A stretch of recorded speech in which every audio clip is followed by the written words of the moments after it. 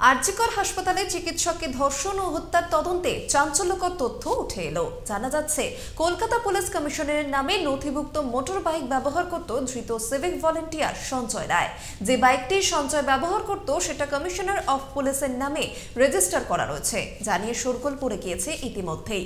যদিও ইতিমধ্যেই এ বিষয়ে মুখ খুলছে কলকাতা পুলিশ। জানানো হচ্ছে কলকাতা পুলিশের সমস্ত গাড়ি প্রাথমিকভাবে নথিভুক্ত করা থাকে পুলিশ কমিশনারের নামে। এক্ষেত্রেও বিষয়টা ঠিক তাই মঙ্গলবার দুপুরে কলকাতা পুলিশের তরফে একটি বিবৃতিতে শুধু বলা হয়েছে, আরজিকর হাসপাতালে যৌন নির্যাতন এবং খুনের ঘটনায় মূল অভিযুক্ত সঞ্জয় রায় যে বাইক ব্যবহার করত, সেটা বাজেয়াপ্ত করেছিল কলকাতা পুলিশ, যা পরবর্তীতে সিবিআই এর হাতে তুলে দেওয়া হয়। সেই বাইকটি কলকাতা পুলিশ কমিশনের নামে নথিভুক্ত ছিল।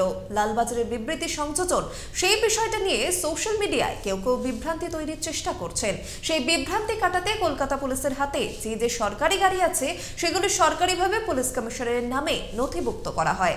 তারপর সেই গাড়িগুলি বিভিন্ন ইউনিটের হাতে তুলে দেওয়া হয়। প্রসঙ্গত, আরজিকর কাণ্ডে ধৃত সিভিক ভলেন্টিয়ার সঞ্জয় রায়ের বাইক আগেই বাজেয়াপ্ত করেছে সিবিআই। শনিবার সন্ধ্যায় বাইকটি সিজিও কমপ্লেক্সে আনা হয়। তার বাইকে কলকাতা পুলিশের স্টিকারও ছিল। একজন সিভিক ভলেন্টিয়ার কীভাবে কলকাতা পুলিশের বাইক ব্যবহার করত, তা নিয়ে প্রশ্ন উঠতে শুরু করেছিল। তবে শুধু পুলিশের বাইক ব্যবহার নয়, সঞ্জয় কলকাতা পুলিশের চতুর্থ ব্যাটালিয়নের ব্যারাকে থাকতো বলে অভিযোগ উঠছে অভিযোগ উঠেছে, যেদিন তরুণী চিকিৎসকের দেহ উদ্ধার হয়, সেদিন আরচিকর মেডিকেল কলেজ এবং হাসপাতাল থেকে কলকাতা পুলিশের চতুর্থ ব্যাটালিয়নের ব্যারাকে গিয়েছিল সঞ্জয়